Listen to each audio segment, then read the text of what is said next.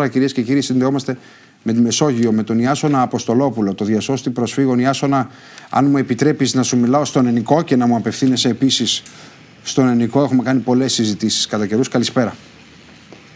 Βεβαίως, καλησπέρα Μάρια.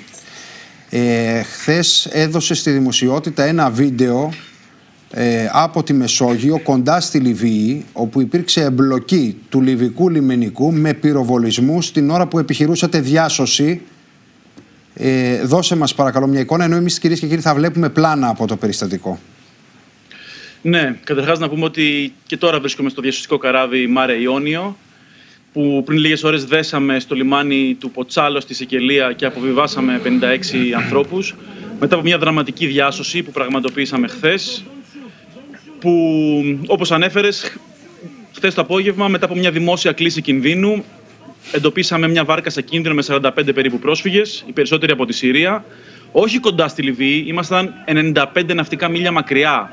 Σε καμία σχέση με τα σύνορα της Λιβύης και με τα χωρικά τους ύδατα. Άρα και μακριά από τη δικαιοδοσία του λιμενικού της Λιβύης. Ε, βέβαια, τα, η δικαιοδοσία τελειώνει στα 12 ναυτικά μίλια τα χωρικά τους ύδατα. Και είμαστε στα, σχεδόν στα 100. Mm. Είμαστε στην ανοιχτή Μεσόγειο.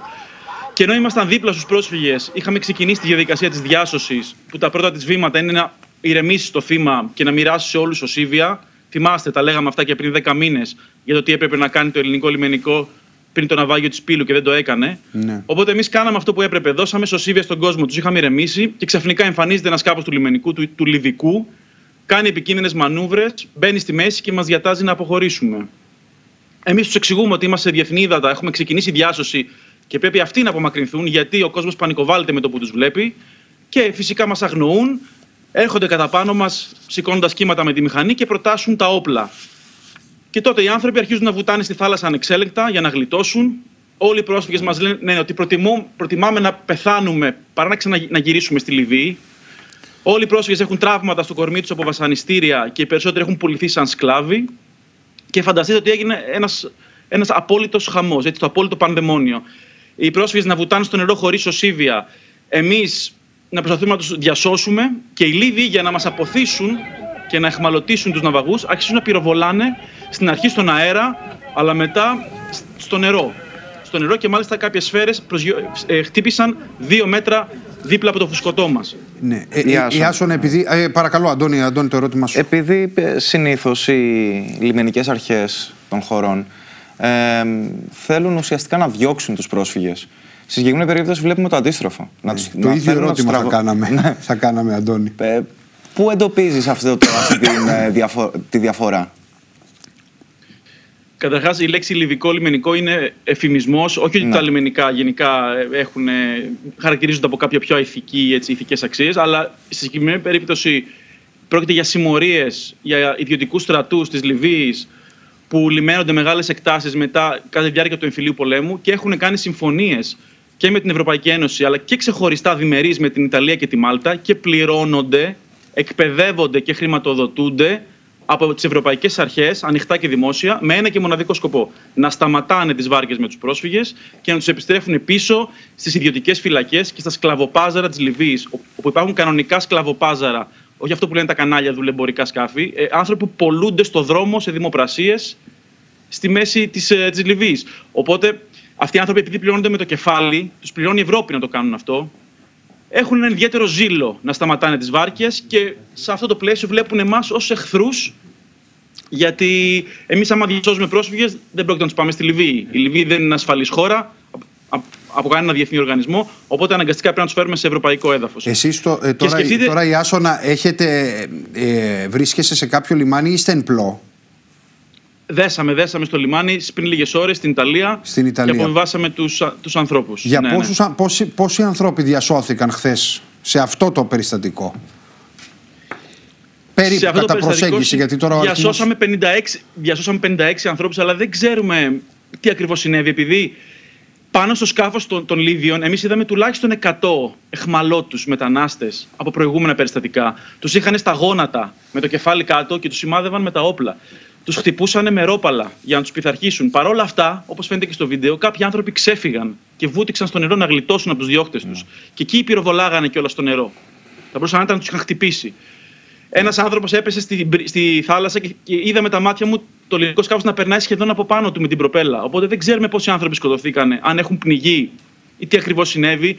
Σίγουρα κάποιοι εχμαλωτίστηκαν ξανά και θα επιστράφηκαν στη Λιβύη, αλλά εμείς διασώσαμε 58 και από τη βάρκα που βρήκαμε, αλλά και από τις προηγούμενες βάρκες που ήταν πάνω στο λιβικό σκάφος. Δηλαδή ουσιαστικά απελευθερώθηκαν άνθρωποι που θα επέστρεφαν στα λιβικά κέντρα βασανιστερίων, για τα οποία ακόμα και διεθνείς οργανισμοί μιλάνε για εγκλήματα κατά της ανθρωπότητας. Ναι. Καλά, πρέπει, πρέπει να καταλάβουμε όλοι και να καταλάβει ο κόσμος ότι οι άνθρωποι αυτοί, οι οποίοι δαπανούν τεράστια χρηματικά ποσά για να φύγουν από, το, από τον τόπο τους και από το δράμα το οποίο ζουν, ε, είναι άνθρωποι οι οποίοι δεν έχουν να χάσουν τίποτα πια. Παλεύουν για να έρθουν, δεν, δεν έχουν να χάσουν τίποτα πια. Δεν έχουν να χάσουν τίποτα πια και δυστυχώς η στάση και της Ευρώπης, κυρίως της Ευρώπης, το έχουμε συζητήσει πολλές φορές για αυτό, είναι άθλια απέναντι στους στους ανθρώπους αυτούς. Εδώ ένα τελευταίο ερώτημα θέλω να σου θέσω Ιάσονα πριν σε αφήσουμε να ξεκουραστείς. Επειδή γίνεται μια τεράστια συζήτηση, την ακούς συνέχεια, μια παραπλανητική συζήτηση κατά την άποψή μου, ότι έρχονται μόνο, μόνο άντρες και δεν έρχονται γυναικόπαιδα. Εδώ μιλάμε φαντάζομαι και για γυναίκες, μιλάμε και για παιδιά. Καταρχάς, το 1 τέταρτος περίπου σε κάθε βάρκα που διασώζουμε είναι όχι απλά ανήλικοι, ασυνόδευτοι ανήλικοι. Άνθρωποι που είτε ξεκίνησαν το ταξίδι τους από την αρχή μόνοι τους, είτε έχασαν τους γονείς τους κατά τη διάρκεια του ταξιδιού. Και αυτό που ήθελα να πω πριν κλείσουμε είναι ότι αυτό που είδαμε χθες είναι το modus operandi της συνοριακής βίας. Είναι το manual της κρατικής ρατσιστικής βίας στην Ευρώπη. Γιατί η κάμερα έχει πιάσει και το ελληνικό λιμενικό να κάνει τα ίδια, να πυροβολεί στη θάλασσα για να σταματάει βάρκες, και το τουρκικό λιμενικό και το μαλτέζικο. Όλα είναι στην ίδια κατεύθυνση. Ότι ο πρόσφυγας είναι απειλή για την Ευρώπη, γιατί αυτό κάνει ο ρατσισμός.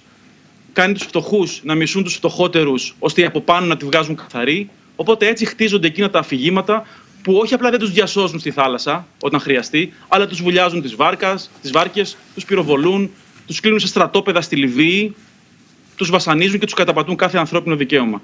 Όσο περνάει από το χέρι μας, εμείς θα είμαστε πάντα ενάντια σε αυτή την πολιτική, δίπλα σε κάθε άνθρωπο που ρισκάρει τη ζωή του στη θάλασσα. Ιάσονα Αποστολόπουλο, σε ευχαριστώ πολύ για την παρουσία σου στην εκπομπή μας. Ε, συνέχισε αυτή την σπουδαία δουλειά που κάνουν αυτές οι ομάδες διάσωσης προσφύγων. Μάρια, αν μου επιτρέψεις να Πολύ σύντομα, Αντώνη, γιατί πρέπει να πάω σε διαφημιστικό διάλειμμα. Όταν η Ευρωπαϊκή Ένωση υιοθετεί τέτοιες πρακτικές και τέτοιες οδηγίες, μην απορρίσουμε όταν σε 9 Ιουνίου, σε λίγους μήνες, σε ευρωεκλογές, δούμε υψηλά ποσοστά ακροδεξιών κομμάτων. Αυτό. Και είναι βέβαιο. Δυστυχώς. Για, για, αυτό το λέω δεδομένο. Ευχαριστώ πολύ και τον Αντώνη Ευχαριστώ και εγώ. αρχισυντάκτη στην εφημερίδα Αυγή.